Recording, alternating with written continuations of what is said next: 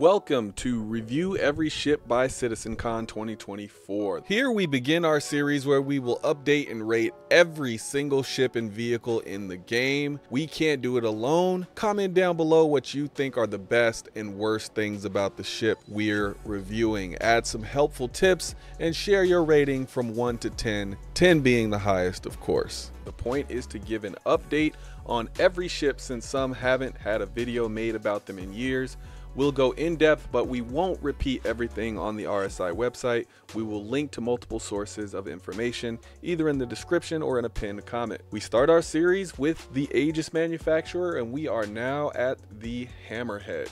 The Aegis Hammerhead is a fast sub-capital patrol gunship bristling with six manned quad-linked turrets. These, these turrets are optimized for anti-fighter and anti-ordnance work and grant the ship an unparalleled ability to put up a hailstorm of firepower that swiftly removes smaller aerospace threats. The Hammerhead is thus well suited for supporting larger capital ships in a fleet or to act as a general patrol vessel in lower intensity theaters. The Hammerhead has the third highest ship hull HP in the game, but it also has one of the slowest movement speeds in the game. The Hammerhead has a crew of minimum three and maximum nine. I would more so say that that crew is probably five minimum. You could run it with three, but honestly, I wouldn't even run this ship unless I had all nine members of the crew and probably 10 or 11 just to be safe. This is one of those few ships where its might is when it's fully crewed and when it's under crewed, it really doesn't have the same might.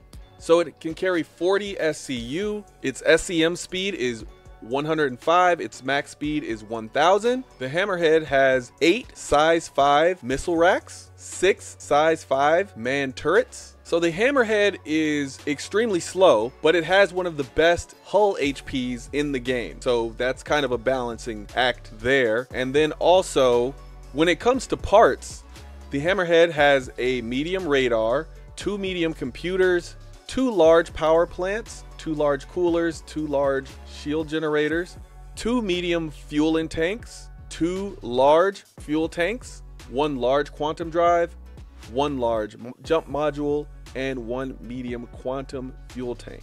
So what is what does this mean here, right? It means it's meant to take a lot of damage. It's supposed to be a defensive ship because it is slow, has high hull HP, and and two large shield generators is nothing to laugh at. But it's also only got a medium quantum fuel tank, so it's not meant to go very far away from a fleet or away from a planet. It's it can take one or two trips, but that's pretty much it. It's very much so meant to it's supposed to either sit and protect or move and patrol. That's really what this ship is for. It's not very maneuverable and one of the things that's going to be key for this ship can you get your guns where they need to be? Can you aim them? Is your pilot good enough to get your guns where they need to be so that all these turrets are on point? So time to give this ship a rating. I rate from 1 to 10 but my one is a little different. My one is only buy if you have a unique reason that is specific